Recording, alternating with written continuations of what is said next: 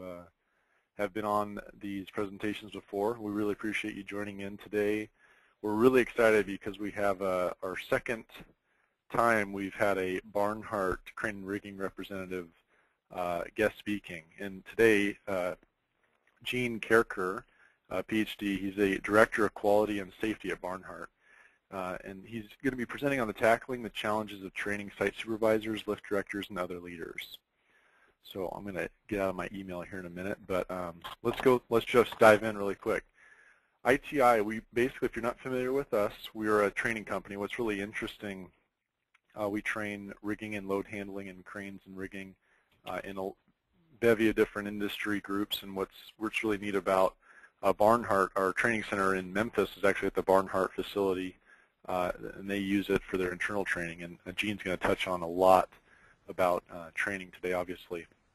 So we serve a lot of the same markets and customer bases, uh, ITI in the education space and Barnhart in the heavy load lifting and transport space. So uh, one thing I we didn't we left a slide out on this presentation, but one thing I want to make sure you all know is you'll have the recording available after this available to you, and this uh, presentation file actually be available.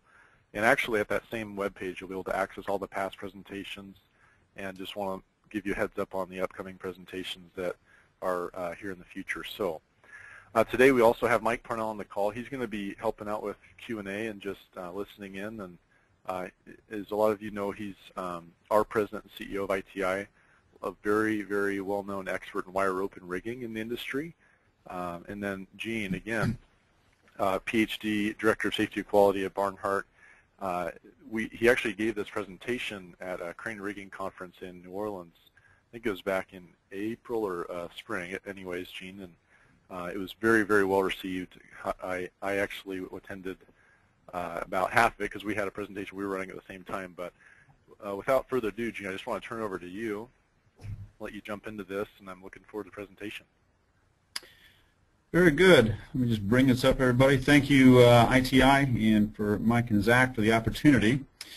It is our privilege to uh, to present this. Make sure everybody can see that. Zach, we good? Yep, we're good. All right.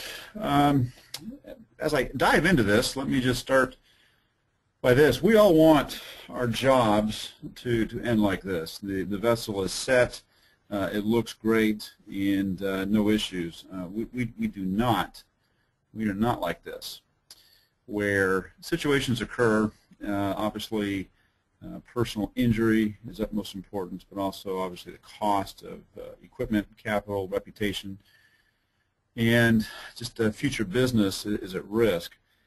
And so the, the challenge before us is really tackling the challenges of training uh, our field leaders, our site supervisors, lift directors, and, and other leaders, since they are the people that are actually in the field executing this work.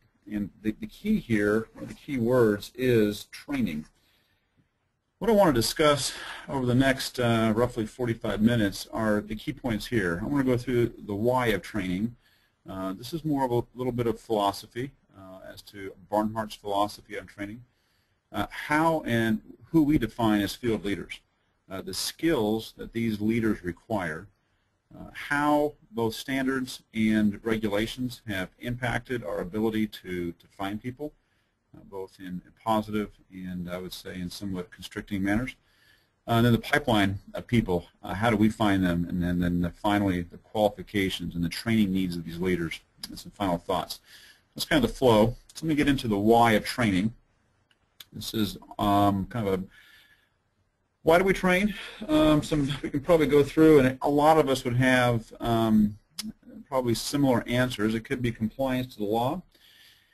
It could be because we want to be competitive in the marketplace, and we want to to, to be the best. It may be, um, well, we have to train our people because we have to provide quality service to our customers. Um, maybe it's because we want to be excellent, and we want all of our people uh, to to be uh, that same caliber. Or there may be a general statement as um, to be safe. The question I want to ask is, uh, what does it mean? What does it mean to be safe? What does it mean? Um, what does the word mean? This is not always an easy word to define, and I think it's sometimes kind of like art. A lot of times you, you know what you, you don't like, but you're not too sure if you can describe what you like. So I think a lot of us would say, yeah, uh, safe, what does it mean to be safe, uh, zero acts, misses, injuries, first aids, the whole zero concept. Um, I'm going to propose that all of these are really the results of working safely. Uh, they're not really a definition of safety in themselves. Um, those, those are the, those are the, the actions of, of being safe. So our goal is obviously to have zero injuries, but I want to say this, is that in, in, our, in our vernacular, compliance to regulations is, is not always, does not always imply safe operations. Okay, that's not to say that we're not compliant, that's not to say that we do not follow regulations, but just because rules are followed, just because procedures are followed, does not mean that you will necessarily uh, have the goal that you desire. So again, uh, what does it mean to be safe? I wanted to define, here's our working definition. We define safety as working within an acceptable level of risk. Um, we, as a crane and rigging company, we actually desire risk. We know that our customers hire us um, to transfer risk. Uh, many of our large customers in uh, the heavy industry definitely have the capital necessary to to, to buy the equipment, to hire people, um, but you still have the skill and expertise. And so we're, we are hired to essentially minimize their risk, their exposure. And so we want risk, but what is the acceptableness? Um, that's the key. I would say risk, in this case, is a threat of damage, injury, liability, or other loss that's caused by external internal uh, vulnerabilities the key here is it may be minimized through preemptive action. Okay, so safety then is a proactive term. It's it's not a reactive. Um, it's it's very much a, an active form, and leaders, both in the in leaders in business and leaders in our field, our field leaders, they must manage the risks that they're exposed to and, there, and thereby making that risk acceptable and making our job safe. So in essence, it needs to be safe to properly manage risk. To be risk managers is to be safe. Now, I really want to review what, it, what this risk-based safety, as we're calling it, as opposed to compliance-based safety, what it is not. Uh, number one, uh, we are not implying that it's risky. Okay, um, we want risk. We want a lot of risk, but we want to, to, obviously from a business perspective, we want to price for it and get paid for it, but we want to manage it. It does not mean that it's a disregard for standards and regulations. Uh, by no means. We, we think uh, standards, uh, industrial standards are, are good. They're best practices. Uh, regulations um, can be good. Obviously, OSHA, I think, has a place. But it's more of a, an intent. It's a philosophy that it's not just because you are following these regulations that you're going to execute well, but it's because you're managing the risk, and part of managing risk is doing the right thing. And so that would be following regulations at times. And then third, it doesn't mean you're checking your brain at the door. It is a proactive, it's a thinking, it is entirely, uh, requires the entire involvement of our crews uh, from a field leaders down to the newest guy that we bring on the job site. So the why of training. Um, we want to ensure that our employees are obviously certified and qualified to operate our equipment. We want them to, uh, to meet our regulatory, regulatory requirements. We want them to meet our customers' expectations. We want them to minimize, because of their training, minimize property damage because they know what to look for. They know how to manage the risk, the things that always change in a job site. Um, similarly, in minimizing personal injury, we definitely want all of our men uh, to go home uh, safely and in good shape, maybe tired, but uh, definitely in good shape and ready to come back to work next morning. But we're also a for-profit business, and uh, we want to maximize our efficiency, and we want to maximize our profitability. And really, then our goal then, taking into account our, our uh, the goal of safe, being safe, meaning we are managing risk, is the ultimate goal of our training, the why of training, is to teach employees how to assess and mitigate risk. That is, we need our field leaders to be risk managers. Even though they may not have the title, we want them to manage risk. And many of them may not even know that, that they're actually assessing and mitigating. Um, but we really want our, our, our, men to think through three questions. What could go wrong? That's really the, what are the risks? Uh, how, how bad could it be? Uh, the probability of something going wrong. And then finally, what am I going to do about it? These three questions really sum up risk management. And so if our men are thinking in the field constantly at all levels, at whatever their sphere of influence is, what could go wrong, how bad could it be, and what am I going to do to minimize it? If that's done, then our work's going to be done well, it will be done safely, and it will be done profitably. And so from a safety perspective, we believe that training, proper training, is one of the best leading safety indicators that we can have in our industry. If, if we are not yeah, training Gene, people, this is Mike. not being proactive. This is, this is Mike. Yeah, Mike. Yeah, Gene, I got a question for you on this. Uh, is, is, this uh, a, a, place where you would, uh, in your in training for your supervisors and field uh, lead folks, the letting them uh, potentially evaluate the the task at hand and making sure that they understand there may be four or five different ways to actually get a load moved from point A to B, requiring a variety of different kinds of equipment. So, so it, the more that they know about the use and capability of that equipment, um, they can make this decision to drive the risk down. That a benefit? Absolutely, it would be. Absolutely. The more they know about the tools and they're masters of their trade and masters of tools, they can uh, make, yeah, if they only know how to do one thing one way and they're in a position on a job site that that doesn't work, you just significantly increase the risk. But if they understand yeah. the tools, okay. absolutely, absolutely. Thank you. You're okay. welcome. So we believe training, and that uh, is, is probably our best leading indicator. And uh, actually, our branch managers have an expectation uh, to to constantly train and to be looking for not just the next field leader, but also how are they training the men that are maybe not going to be field leaders, but are just good workers. How they're they're they're being held responsible to make sure they're trained. Okay, kind of enough of the philosophy of our discussion as to the why we're doing it. I think it's important to know what our goals are.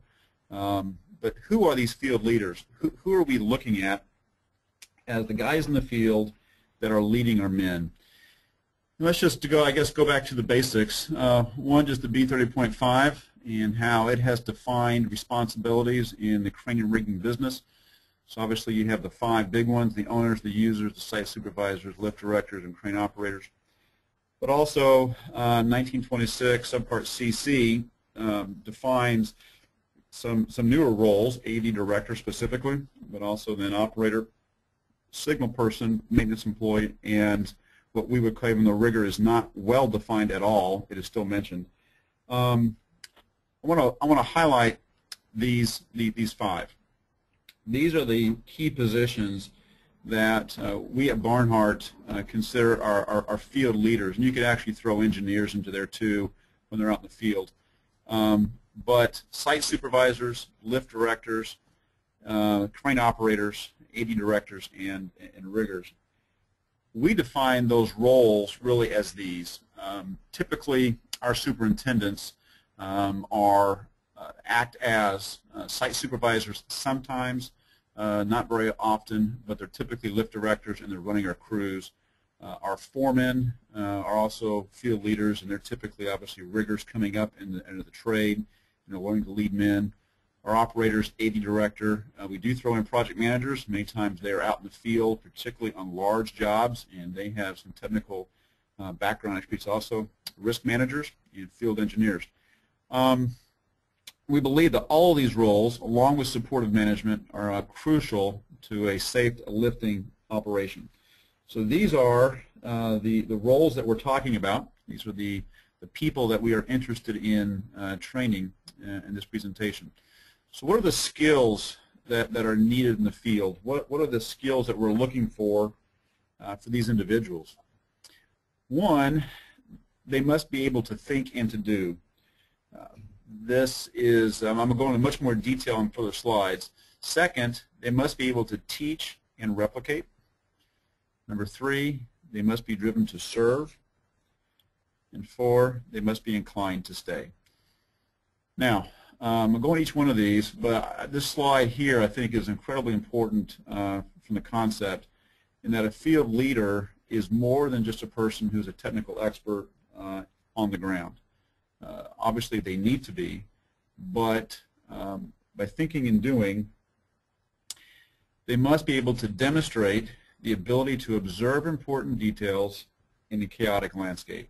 Uh, we all know that in the field, things change constantly, and a leader must be at least a step ahead of his men, a step ahead of the work, and he's watching to know what to do and how to react. And so a key, key there is observe. Uh, many, many people are very good technical technicians, but are they thinking ahead? Second, uh, obviously, master of our work. Uh, they, mu they must they must want to desire to be ma to master the skill and the trade. So that from our perspective, heavy lift, heavy haul, and, and specialized rigging. Third, we want them to take initiatives to mitigate and address high-risk tasks on the jobs while following company policies and procedures. Uh, so we want to train based on our policies and procedures. These are the general guidelines. But when they're in the field and they're thinking and they're doing the right thing, we want them to, to, to take initiatives that if a policy or procedure is not the best way, if it's not the safest way, just because it's written down on paper, in that particular case, it may not be the best. And so we have uh, we have a change a change of management procedure we want them to follow, which they can then interact with project management, salesmen, uh, engineers uh, or the customer to change the plan so they take the initiative, address the risk, and execute it well. Fourth, they have to be an effective communicator. Um, obviously, they have to communicate uh, well uh, with their men. They have to be able to lead them uh, and communicate, usually orally, obviously, but sometimes in a written manner. Uh, we want them to be able to communicate well with customers. That reflects well on them. It reflects well on the crew. It reflects well on the company and it can avoid uh, a significant number of uh, just challenges when field leaders are, are good communicators. And finally, obviously, in our business, um, we want them to have mechanical aptitude. Obviously, they have to like what we do. Um, I'll, come back to it in, in, in, toward the end of the, of the, presentation, but one thing that we've really found is that many of our good field leaders um, you know, ask the question, we're hiring young men, what do you do as a hobby? What do you enjoy? And uh, we definitely find out that a lot of our guys in the field, um, they, they work on cars, they are outdoors, they are mechanically inclined, and so that, that does help.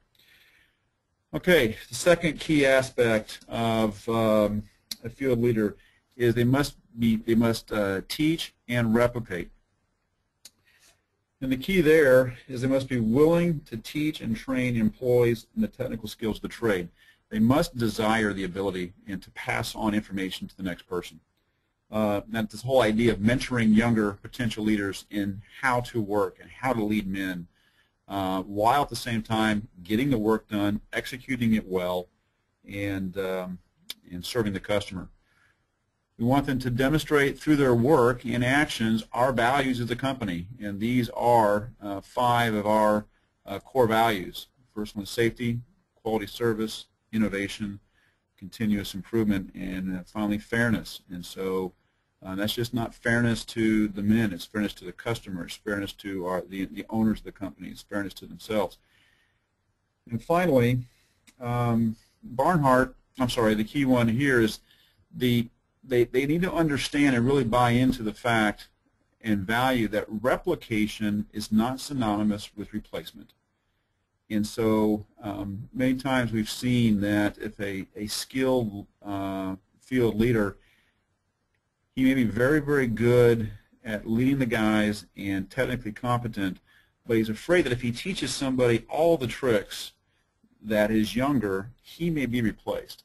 What we're trying to encourage that is absolutely not the case. That replication, if he, if he actually could duplicate himself, he's not losing his job and he's actually he's, he's making himself far, far more valuable uh, to his men and to the customer.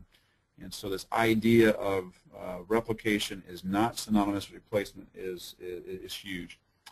Finally, service. They need to, leaders, uh, we want them to serve those who, who are entrusted to their care. So other employees, uh, customers, other co-workers, and obviously uh, owners. We want the leaders to positively influence those in whom they have contact. Um, obviously, the, uh, the work we do is, is hard. Um, it's, it's not easy. Uh, stress can get up there, uh, but yet uh, a field leader will deal with that and come out on top.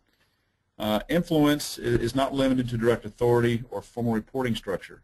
Influence can be whatever that sphere is. And so we, we really believe that a field leader who is a good man in the field can definitely have influence uh, over project managers and over branch managers and uh, and over engineers. Barnhart, as a company, uh, follows the, a servant leader uh, model of leadership. If, if, you have studied any type of leadership, that's that, that's the model that we, we, we present, that we try to demonstrate as leaders, as we try to teach, and it, uh, it, it serves our men well.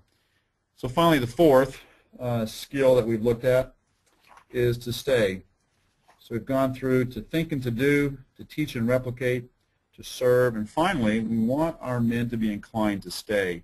Uh, we desire field leaders to find fulfillment and satisfaction in their daily work. Uh, we believe that uh, good, hard, honest work uh, is, is, good, that uh, all men desire it, that it, it, it is good for us, and we want our men, uh, all, all employees in Barnhart, but field leaders uh, in particular in this conversation, to, to find their fulfillment in what they're doing. Uh, obviously then to do that, they need to be dedicated and passionate about the work that we do. Uh, so the rigging and uh, lifting industry, um, we want them to be passionate about it. To we desire them to become experts in their field, and in that way they will stay. We want to provide and, re and receive recognition for the work that they skillfully execute. Um, that's actually hard to do sometimes. It really is, uh, particularly with the, the pace of, of industry.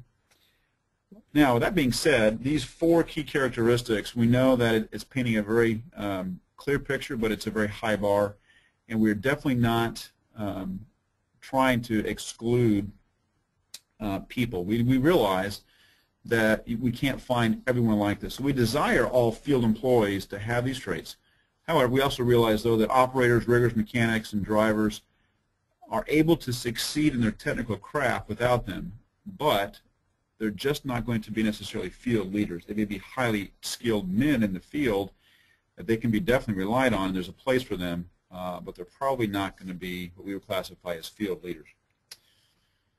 Okay, moving on to the next point. So went through kind of the philosophy what we believe, who our field leaders are, the skills that we're looking for, and the, the, the high bar that uh, we have set.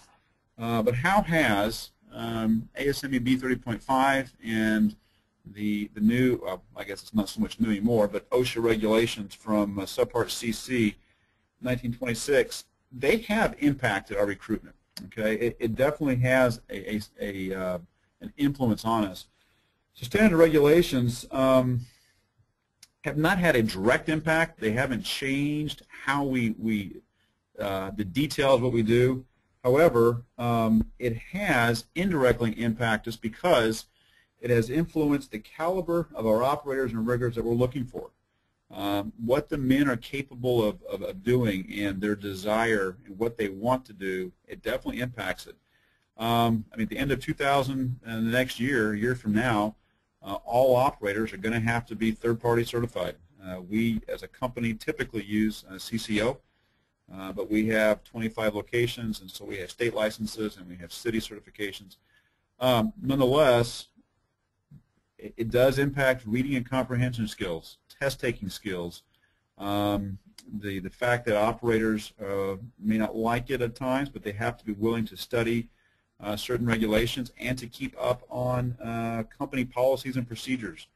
All the regulations that, uh, that go into training, it's not a one-time event, it's continuous. And um, to, uh, in reality, um, the, a lot of the operators, the older generation that um, are, are, are, retiring, uh, we've had many, or a few, very, very excellent operators, but had challenges passing um, the reading and uh, skill-taking aspect of the CCO written exam.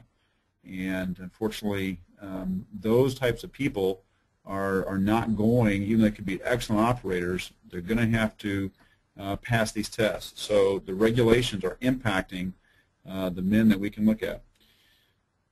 Secondly, uh, it, it, a lot of these regulations are forcing the field employees to be multi-skilled, multitasking sometimes. Um, I mean, operators who can be AD directors. Uh, so you may have uh, on a large heavy lift crane, a super lift, um, the operator maybe operate a crane one day and he could be an AD director on another crane the next day. Operators who can rig and want to rig, they're not just sitting in the seat. They're, they have, um, even if they don't drive, uh, if they're not driving a mobile crane, they still may have a commercial driver's license and so they can drive a commercial vehicle. And then riggers who can drive a commercial vehicles and some who are willing to get a CCO license so they can run pickers and to run smaller cranes. So it's forcing the field uh, to, to expand their horizons. Um, we think in general this is good because uh, the more skills that uh, people have and the more opportunities they have, we, we think it's good. Okay, um, other aspects that um, B35 and uh, B30.5, excuse me, in 1926 have impacted recruitment is the time and energy that we have to put into finding these leaders uh, to make sure that uh, and train them in compliance with the regulations and standards. Um, it, it, really forces us as a business to minimize the number of employees we hire that we we're pretty sure are not going to be uh, the right fit on the bus, and so be becoming much more, uh, I'd say, discriminating in how we look. It, it's impacting it. Another one is uh, business demands has forced us to become very proactive and deliberate in recruiting. Uh, it's a, we have people who are full-time doing this, and it is a very, very deliberate action. And then for us, finding properly skilled people who are either certified or qualified is becoming more difficult. Uh, I don't know if anyone else is seeing this, who's listening to my voice, but uh, we're finding it true. I want to read this quote. This is actually from um, Mike Rowe, who's the host of Dirty Jobs. Uh, I found this in an article uh, earlier in the year. So testifying before the U.S. Senate last year, Mike Rowe, the rugged host of television Dirty Jobs, said nearly a half million trade jobs are out there for the taking across the United States. That sets up a huge dichotomy in the struggling economy. People can't find jobs, and yet good jobs can't be found by qualified people. We're surprised that high unemployment can exist at the same time as a skilled labor shortage. We shouldn't be. We've pretty much guaranteed it. Many baby boomer tradesmen are getting set to hang up their tools and not enough young people are stepping into these trades to replace them. So we're, we're definitely seeing this. We're seeing this challenge. Uh, we're, we're, finding it uh, more difficult to find people who want to go into the business and get out in the field. And uh, that pool is getting smaller of even those then that want to be or able to be leaders. Okay, so how do we find them then? What, what's the pipeline of these people? How do we find them? Well, uh, first, um, obviously a company has to be growing uh, or at least looking for people. So growth provides a context where conversations about looking for people can occur. And so if a company is growing, um, just looking at people on the inside, um, PDPs, professional development plans, can be very strategic. We found them very good for uh, finding people that have um, potential abilities, and then we select them for key roles and give them opportunities for deliberate growth uh, give them specific uh, training goals on an annual basis, and then the training or uh, hands-on, on-the-job training to fill uh, those skill gaps. And then uh, finally, uh, give people real responsibility. Um, if we think someone has the potential to grow into a role, is to truly give them responsibility, set them up for success, but also give them the opportunity to, to fail. Second, we go through assessments. Uh, we we uh, look at multiple levels of assessments, looking at people both internally and externally to the company. Uh, we, we have used the ASVAB. Uh, this is the Armed Service Vocational Aptitude uh, Battery. There are um, military developed these. They're out there. The tests are, are, are, available. The assessments and how to analyze them are, are, are not. We've had to develop our own. But it's a good cursory view um, if someone has the aptitudes we're looking for. Uh, we use an attribute assessment from the Divine Company to see if uh, a person has, based on a series of questions that are asked, are they a good a good fit? Do they think that based on what we know about a, a role and a job, are they going to is it worth the investment? Uh, do we think they're going to they're, they're going to fill that role? And then finally, um, we've found some useful is the DISC. It's a personality assessment uh, particularly as people step into uh, leadership roles, learning how to deal with different types of personalities is, is important. Then our interview process. Um, it's a multi-level process. Uh, we do have um, phone interviews for first time. These are planned strategic questions that are asked. Um, we look at a lot of questions for a first-time operator or someone who's new to the field, uh, just very general questions. It could be as simple as, do you change your own oil in your vehicle? Uh, if the answer is no, then it may reason to doubt their mechanical desire or, or aptitude. Um, we do uh, site visits and face-to-face -face meetings. Well, will they fit into our culture? Do they fit into the branch they're going to be fitting into? And then um, multiple people look into this. It is a hiring manager's decision, but uh, multiple uh, inputs is, is crucial uh, for making a good choice. Uh, where do we not find them? Um, we, we do find some from local uh, local unions, um, but in general, in general, um, we're finding that um, across the nation, the unions are struggling in in developing um, uh, potential field leaders. They're out there, and we definitely do employ them, but we are not relying on the halls uh, to provide us those skills. And nor do we use headhunting. Um, it's a business decision not to use that. Uh, we think it's better to find people and to grow them uh, internally and find the right people ourselves. So what we're looking for are really people that fit um, the book by Good to Great from Jim Collins. Do they share the organizational core values? they do what they say they're going to do. They have a passion for their work. They have they, they look at they have responsibilities and not just a job. They're looking for uh, roles and responsibilities. They're self-managed and they're self-motivated and they have a window and mirror maturity. If you haven't uh, heard that before, it's, it's a great picture that if a, a, a leader, if a person, if something is going well and the team has done well, he's looking through the window, looking at everyone uh, that was involved in that. If something did not go as planned uh, or as well as we desired, then it's a mirror. And as a leader, he's looking at himself and uh, wondering then how he could have connected. So that's kind of um, that aspect of it. But then, so where do we find them? Uh, this is our pipeline. We really have three areas that we have developed. Um, and we call them entry-level positions. The second one is homegrown tomatoes. And then the third is the proven commodities. And so looking in the marketplace. I'm going to go into these entry-level positions. So these will be the people coming in who are brand new not only to Barnhart, but new to the industry um, and they're learning from the ground up. We, we started this by actually um, listing it on our website. Uh, we do not have any direct advertisement in local newspapers or trade journals uh, for entry-level positions. And this by mean, I mean uh, entry levels as far as operators, fabricators, maintenance, dispatch, uh, wind workers. The it is entry level. Uh, the entry level pay is roughly uh, $15 an hour. Um, we we want them to be uh, desire to come into a highly educational environment.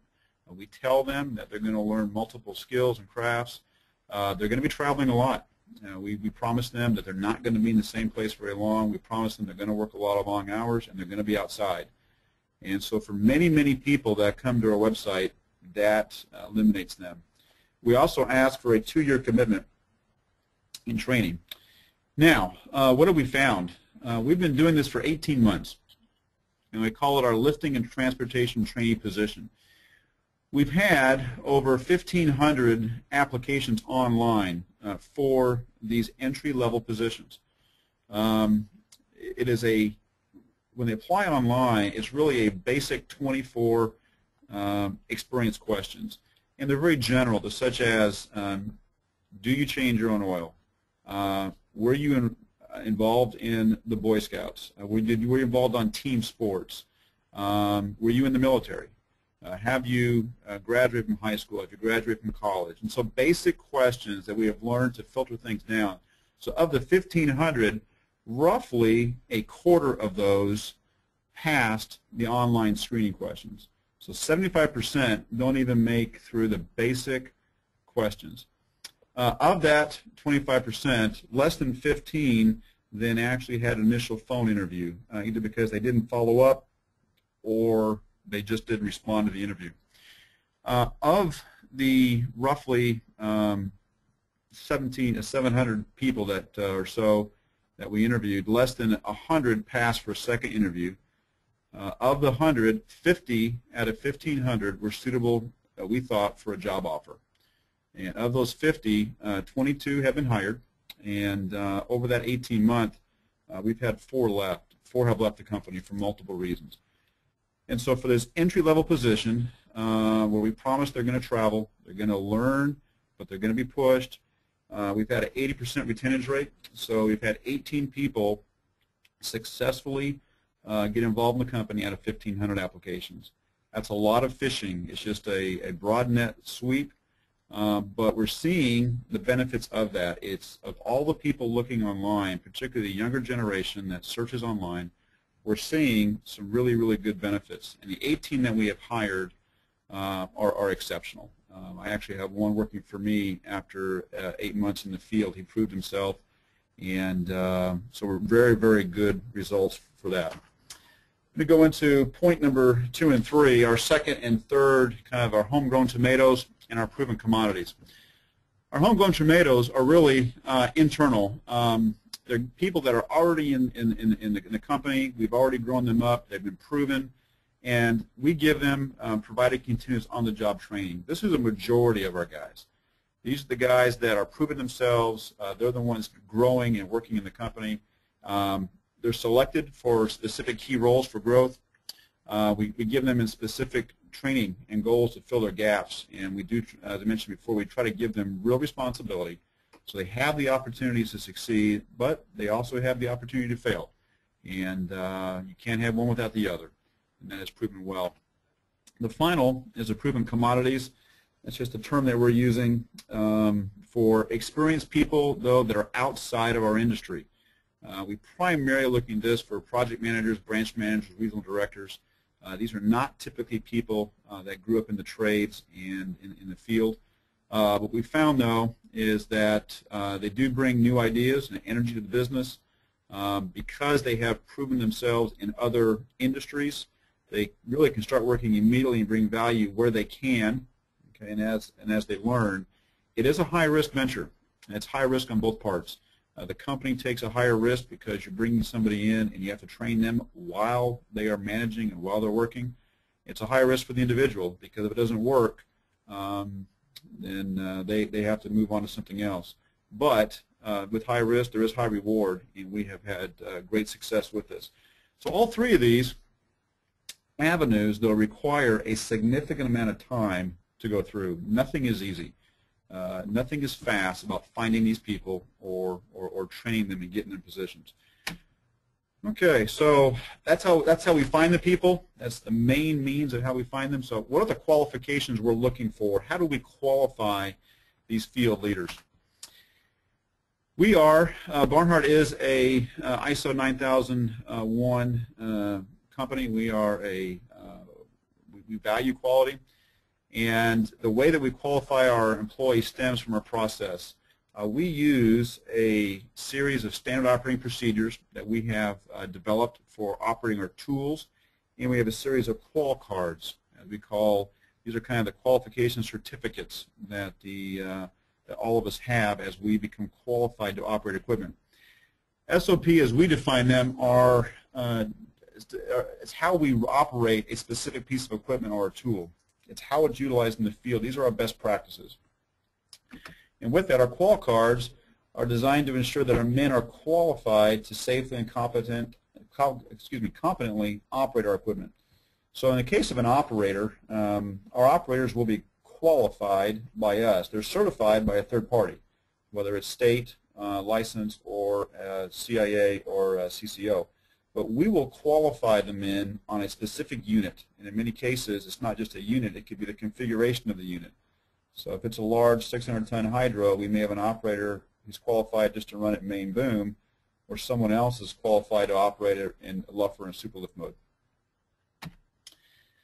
Each of our qual cards uh, is comprised of both a knowledge section and an experience section. Uh, both of these sections have to be signed off by a qualified trainer and the branch manager before uh, that person is able to operate that piece of equipment um, essentially independently out in the field. And currently we as a company, we have 70 of these unique qual cards. I have an example here of a, a, a type of qual card. Uh, this happens to be for uh, the AED director, uh, the new role uh, under 1926 law. If you notice here, the three, that's the top three, they have to read and understand the AED, essentially assembly, this is assembly, disassembly of cranes, booms, and jibs in our SOP. Uh, so they have to read our SOP, and they have to demonstrate that understanding, uh, that they understand the responsibility of the AED director, and they know how to use our AD director JHA. So very, very specific. Uh, each person who's qualified as AD director has to go through this and it's crane specific. This kind of gives you an example of the detail that we require our men to go through to get signed off. And uh, this, this, this has worked well. We've been doing this now for uh, qual cards almost 10 years, and it continues to grow and to be refined. Um, so going on to the AD director, um, position, as an example, um, as, a, as a leader, they have to be experienced in crane operations, obviously, typically an operator, but at the same time, uh, experienced in the AD director of the crane and configuration. And they have to demonstrate uh, the proper AD director assembly assembly in the field multiple times. They've read and demonstrated um, the understanding of the crane operator's manual. Okay, They've read and demonstrated understanding of our AD director SOP, The qual card's been signed by a qualified trainer, and that qual card is then signed by the branch manager. And the signed qual card is scanned, saved, and then it's turned into our online documentation system and training management system for, for, for, for records.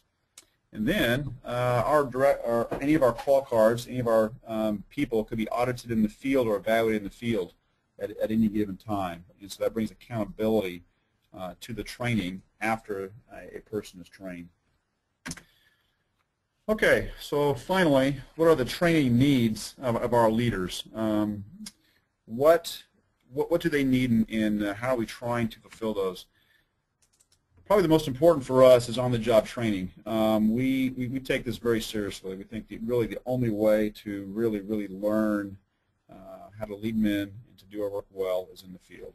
Uh, it can be helped by the PDP, that's the Annual Professional Development Plan that their branch manager or supervisor will, will help them through. Deliberately give them job responsibilities, and then uh, through that try to continually increase their levels of responsibility and accountability. We have something called Barnhart University. Uh, this is an online training system that happens weekly. It's every Thursday at uh, 4 p.m. Central Time. It is uh, for bar all Barnhart employees. It's recorded. It can range anywhere from sales to operations to new tools to um, post-job reviews or highlights of jobs uh, to Alan Barnhart actually gives a monthly update on the company. But it's viewable to everybody. It can be viewed live or um, via the internet from any computer. So we have men that travel, obviously. Uh, they have their own computer or a computer in a hotel. They can bring it up. And it provides a broader uh, scope of training. Finally, on an annual basis, uh, we have a field leadership conference. It's an annual event that we bring in uh, current field leaders or potential field leaders, and we focus on leadership and application of leadership in the field. We also focus on specific tools that we may have, new tools that were developed or purchased, uh, issues that we've had in the company over the year. Uh, we want to then roll out to the field. Will be rolled out there. And then uh, we have specific uh, targeted training using the Barnhart Training Center. I think Zach mentioned uh, we have partnered with ITI in our Memphis facility. This is a picture of it, both outside and inside. We have a dedicated little AT there, and then specialized rigging tools. It is proven to be to be very, very um, profitable and very, very useful to give people the experience they need in all aspects of, of rigging and in how to use our, our, our, tools. This is kind of a list of uh, the training that we currently have, uh, anywhere from crane operators to, which is a three-day event, to something very short, uh, signal person training, uh, to heavy machinery moving and basic forklift, um, basic rigger. We have a, a German rigger class. Uh, we have chosen to develop these internally ourselves. Um, we have over 420 some lines of Goldhofers, so we have THP, PST, PSTE training, and it goes on. And so as we develop tools, we continue then to develop the training. Finally, I want to just wrap up and kind of try to sum all this together. Um, we believe that our work is safe when we're properly managing the risk of the job. Um, like moving that 1,600-ton uh, uh, electrostatic precipitator you see there, um, big, heavy, good work. Um, but managing the risk is key. And training is one of our best leading indicators of are, are we being safe. If we're training our men, it's an indication that we're probably heading in the right direction. Before we can train, though, we have to find the right people. And so recruiting good employees requires time and a deliberate process. It's not going to happen by chance. It doesn't happen randomly. You may get lucky, um, but it's not going to be consistent. And so then finding and training those field leaders is a continuous job that demands focus and diligence by the company, by the individual, and um, the individual must take responsibility for his own uh, his own career. Standards and regulations are influencing influencing the required skills of the trainers and our employees. They are impacting it. Uh, higher bar is requiring us to find uh, many times more competent people. And finally, companies or industry uh, must have a process in place to ensure the quality and training of the field leaders, uh, particularly if we're going to find uh, the people to fit into uh, our, our, our roles in the future to replace us. Uh, we've got to train them. We've got to find them. I want to summarize by Randy Lewis. He's a Senior Vice President of Branch Operations, and I love this quote, our business is not inherently dangerous, but it is unforgiving. And so with that, I'll close. And so, Zach, if we want to, if any questions, I'll be glad to address those. Yeah, that's awesome. Awesome. Well, I hear the crowd going wild. Thank you. Sure. Uh, let me. What I'm going to do is, uh, everyone, I'm going to pass over the control of the screen or sharing to Mike, who's going to kind of uh, annotate for us here, and uh, I want to feed some uh, the pre-registration questions to uh, Gene here that uh, some of you folks had. So uh, Pam from Kimberly Clark asked, how do you tackle the challenge of selecting a lift director when you have limited skills within your organization? Mm, that's a good question. The the role of lift director is defined uh, by ASME, and um, the lift director really is responsible for the safe execution of uh, the lifting. So they're responsible for essentially the crane operating well, uh, the riggers doing their job well, and uh, that the flat, the excuse me, the load is being signaled properly. So if you do not have somebody um, who is qualified to do that, um, either I would contact the um, get one trained, contact a local hall, or possibly uh, if uh, the company that you're working for, they may have a, a competent lift director uh, who can fill in. Uh, Mike, anything to add there? Yeah, I would. Um, some things that we've noticed in over time is a bit on um, lift directors. Uh, we they can be trained up. One is to understand the responsibilities, as uh, Gene noted in B30.5, Chapter 3 there uh, contains a pretty good run-on description. But uh, they really need to be cross-trained in, and I'm just going to use uh, three, like a three-leg milk stool but in the LHE, which is the load handling equipment, they need to understand, they don't have to be an operator per se, but they need to understand its configurations, its abilities, capabilities, and the things not to do with it. Um, they need to be uh, very well uh, uh, ingrained with rigging. Um, in the in the advanced and master rigger and understand good uh, inspection processes when to reject rigging as necessary on a job site, particularly for critical lift activities. But the uh, practice of rigging, the methodology, approved methods uh, by the manufacturers, um, and um, the, the practices uh, has been adopted by the industry that are are um, qualified over time. These will get the job done, always respecting the weight and the center of gravity. And the third third item for a lift director, sort of to raise him up, as Gene noted, is to understand the process of the organization, the the the not only the safety practices, but the the means and methods that the organization has, and that may actually take some development requirement within the organization if it doesn't already exist. But he, he's got to be sort of the answer person on site to make the call, make the decision, and he needs to fully understand what are our accepted means and methods within our company, staying within OSHA, staying with our corporate guidelines, are we using the equipment properly, and are we tackling the load properly? So the lift director needs kind of a broad base uh, training and skill set uh, to really serve. He doesn't have to be the super master in any of them. Uh, as far as LHEs and rigging, he really does need to understand the process uh, means and methods. But he's the he's the person that manages those folks that are specialists in their particular field. But he's got to run the choo-choo train. So um, it is trainable, um, and uh, we've outlined on a number of uh, previous webinars some of the things that are important for a lift director and how to get there. And th this is the baby steps and the starting points uh, for how to achieve that. But we really appreciate the question very much. And th this is sort of our layout and game plan as to how to create a lift director. Terrific. All right. Well, um, I just want to let everyone know, too, I had a bunch of questions come in during. If you have any questions, make sure you, uh, we didn't have a slide to explain this, but make sure you type them into the questions block. Um, but we have another question come in from Ryan from uh, Northern Tier Energy. What uh, criteria make a lift critical, and what criteria should trigger a former, I'm sorry, a formal critical lift plan requiring a PE to prepare it? Yeah, that's a really good question. And um, actually, I know, uh, Mike, you're actually on the ASME B30 committee who's dealing with this, so you're probably the best person to answer.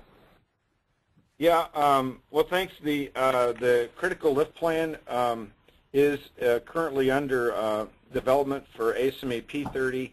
And um, what we've done is outline there are about uh, nine, nine primary uh, segments that can trigger a, oh, you might say a consideration point for, for critical lift planning. Some of those that rise quickly to the top are, we'll, we'll call them man basket lifts, um, power line or energized lines when we have the general public uh, immediately at risk and uh, which might be flying loads over uh, highways, byways, or it could be um, hazardous chemicals uh, that can be released in the air, uh, maybe not just on the ground, but airborne. So all of a sudden, um, those things start to, there is a list, and if they email us, I can at least share the, the bullet point list with it. It's not in publication yet, but we can give you some traction as to what we're what we're offering to the public as sort of our big our big hit list uh, for critical lift plan consideration. And uh, you know, Gene, um, you guys, uh, Barnhart has a very uh, large uh, fleet of professional engineers within your organization. I think the other side of this, um, and ITI, our company, is not an engineering firm, and uh, we get involved with getting questions from folks that, uh, can you guys uh, help us out with a particular lift? And if it's about process means or methods, a lot of times we can offer some advisement on, on methodology uh, or review some plan for just the people and the, the use of the equipment and so on. But quite often, I even got a call yesterday uh, out of Seattle for some work up in Vancouver, BC, that really the only real answer is a professional engineer needed to do some evaluation. And Barnhart's really good at that. Um, maybe you can explain where, where uh, the, the, the value and benefit of having a professional engineer, engineer directly involved in the pre-planning and execution might be of most benefit.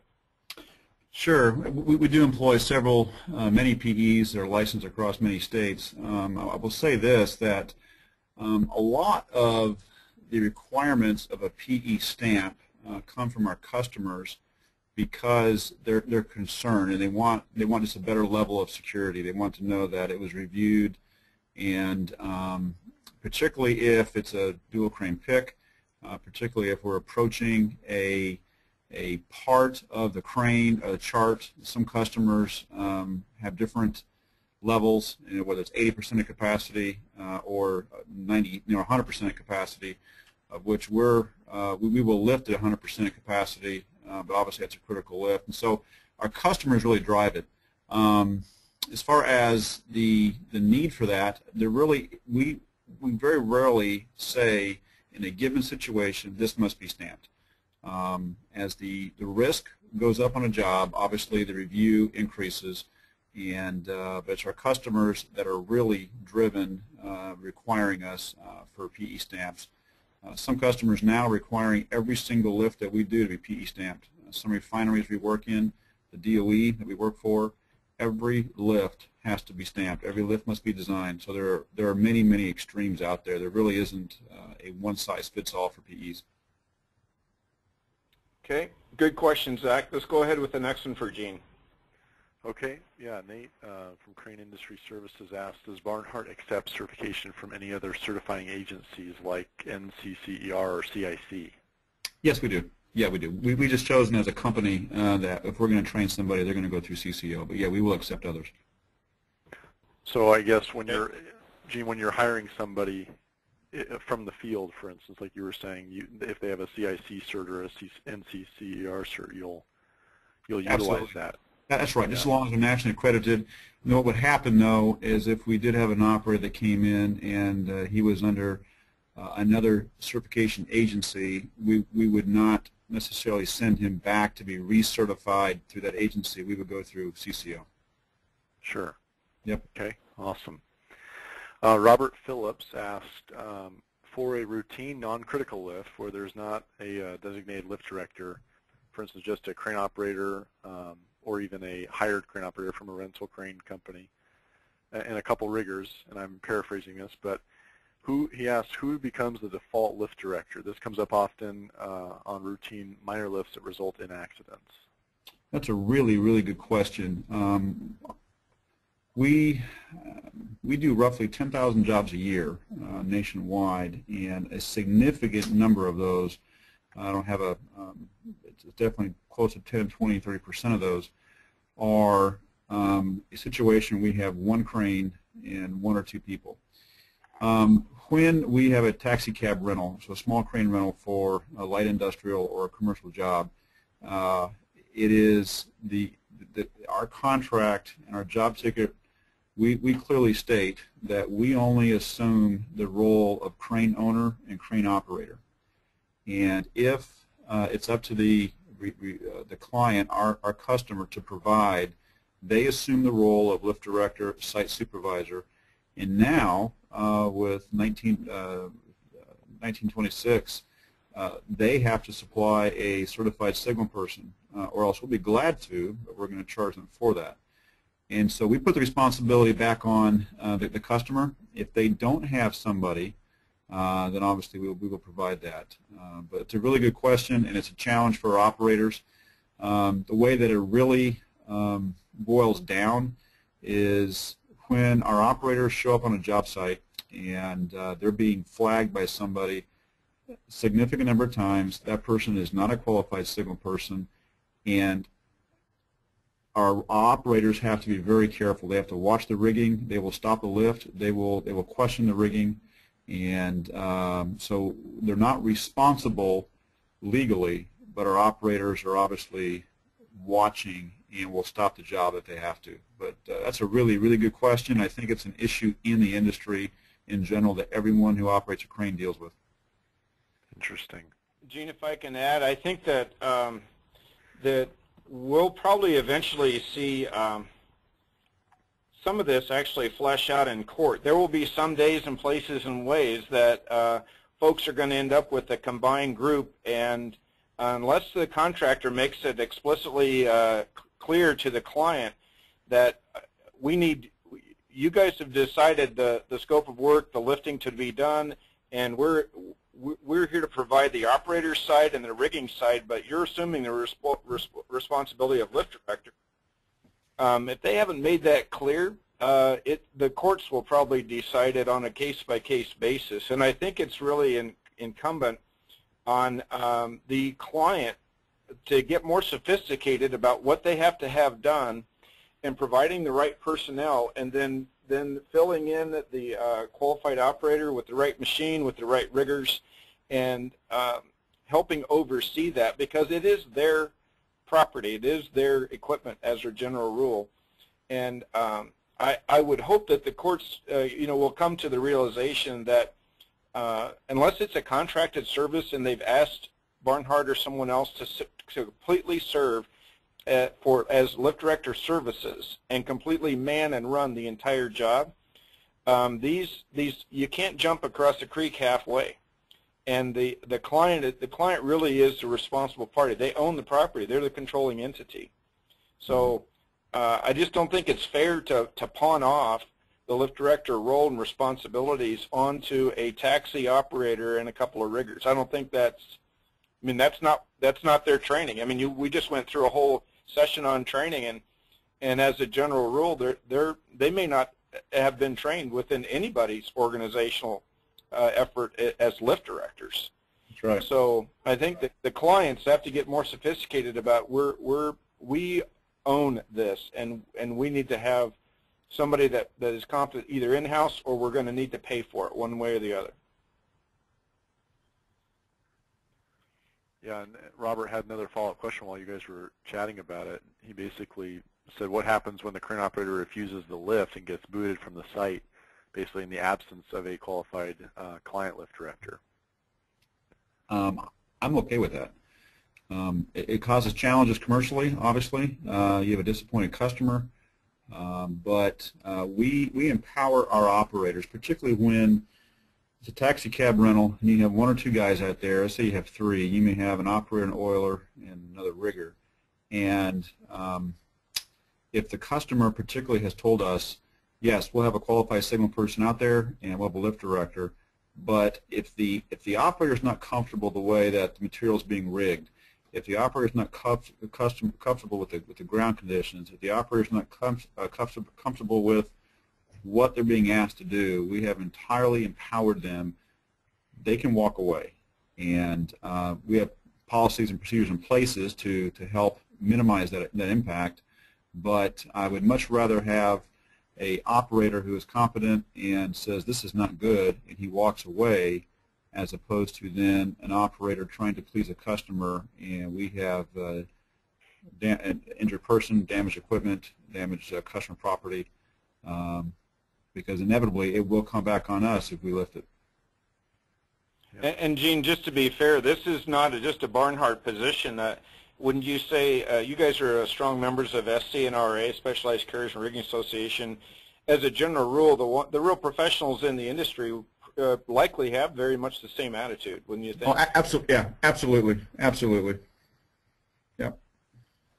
Okay, well, Zach, another question. Like yeah, no, I was going to add it, Gene. It all comes down right to your. I like how you said how you empower the crane operators. It comes down to having suitably trained them to make those decisions as well. So it just gets back to the root cause of training those leaders. So. Yeah, in reality, the way it actually happens is very rarely will a customer kick a crane off the job because it's just too expensive. But what they'll do is they'll really pressure the operator, and the operator has to know when to call the salesman or project manager and let let the uh, salesman, project manager, branch manager deal with the commercial aspects and with the clarification of what the responsibilities are and let the operator be uh, an expert in the field. So at that point, to me, the operator made the right call. He deferred to someone else's skill, and um, it, it, seems to work well. To be honest with you, we've had very, very few situations where it was not solvable. Yeah, we're good. Well, that that's it for questions. Besides, one gentleman asked, "How can I join Barnhart U?" Um, have to be an employee. Apply for a job at Barnhart. That's right. yeah. Okay. Well, with that, you guys, I just want to uh, thank you personally, Gene, very much for coming on behalf of Barnhart and taking your time out. This was just awesome, and uh, I'm sure the uh, I'll be getting a lot of feedback and have already gotten great feedback from folks. So I just want to thank everyone for coming, and um, Gene, I'll leave it with you to close off if you have anything else to say. No, thank you very much, uh, ITI and uh, Mike and Zach for the invitation. Enjoy a relationship working with you guys and just making the industry better. Thank you much. All right. All right. Thank you, everybody. Okay, and uh, as a closing, uh, Zach, if I could have uh, as a closing question to you, we are actually our uh, um, Gene, and I want to th thank you so much for the uh, presentation. It was very well done, and I picked up a number of small uh, nuggets right in the field right there as you went right through it. It's surprising. Uh, we do a lot of gap identification for our trainers, consultants that work for us, and we, we look for those opportunities. Where can we get this guy trained up in these specific module items or subjects, and um, and then continuing assessing uh, performance. So, um, I, you know, I, I really appreciate what you said, and and and it's it's one thing. Not all people are natural leaders, and sometimes you can develop them to be, you know, skilled, trained leaders, and they will uh, blossom as a result Right. of it. So That's right. your efforts are, uh, you know, dead on. So, Zach, I wanted to bring up one important um, for our, our listeners. The, we have another uh, uh, webinar that's very close. We the the November December uh, webinar series is actually just the December one's right around the corner. Do you have the date for that and the subject? Yeah, yeah, it's actually next week on Tuesday. There's already about 100 people registered for it. Uh, it's uh, we're actually having another guest speaker come on from Haag Engineering, uh, Jim uh, Wiethorn. Wiethorn, right? I'm sorry. Yep, Jim Wiethorn. Jim, and he's basically doing a. They Haag Engineering is a forensics uh, company, and they've he's put together an awesome presentation on how studies of crane accidents and trends lead to a safer work environment. So it's a lot of data that they've uh, basically accumulated over the years and uh, how they're using it to consult with people making a better work environment. So that's next Tuesday, December 4th, and then we'll have another one in January, of course, um, pretty much 40 days later. So there'll be plenty of time to spread the word on that one. Okay, awesome. Thank you, Zach. I appreciate that. Go ahead and close out, and we appreciate everybody attending today. Yep. Thank you, everybody. The presentation will be available on the website, and uh, the actual file that uh, Gene was going through will be as well. So uh, it's awesome. Please send out a thank you to Barnhart and uh, hire them for your next job because that is great information um, for you to have internally, just that presentation that Gene put together. So uh,